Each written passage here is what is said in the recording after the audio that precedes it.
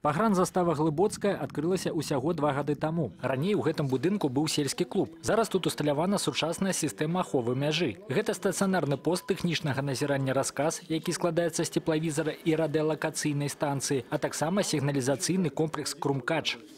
Сігналізацыйны комплекс аховы Крумкач дазваляе выявіць рухомы аб'ект на аддаленых участках, нават птушку ці пацука і перадаць відэоінфармацыю на пагранзаставу.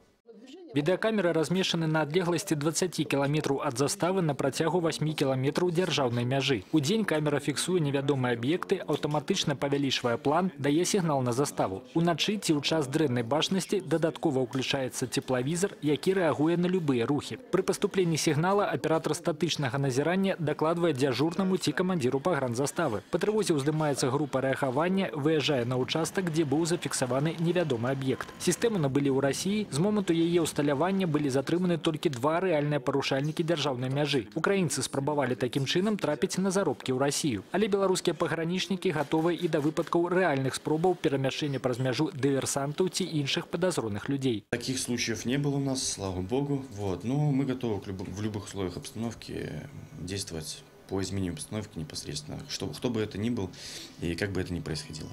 Штомесяц тут праводзяць вучэнні. На самой справе парушэнняў дзяржаўнай мяжы фіксавалася больш, чым два, але астатнія былі вучэбнымі. Правяралася, як працуе сістэма і як арганізавана ўзаемадзеянне розных службаў пагранзаставы. сколько бы технических средств не ставили и так далее, все равно все зависит от человека. И только пограничник, который обходит границу, он может действительно видеть и охранять ее достаточно За апошнія два гады істотна змянілася сама структура аховы дзяржаўнай мяжы. Калі раней былі так званыя мабільныя пагранічныя групы, якія выязджалі на ўчастак на тыдзень ці два, то зараз заставы знаходзяцца непасрэдна каля граніцы. А сучаснае абсталяванне дазваляе ў самы хуткі час выяўляць парушальнікаў дзяржаўнай мяжы і прымаць неабходныя меры рэагавання. Яўген Паблавец, Дмітрий Радзянка, тэлерадыокампанія Гомель.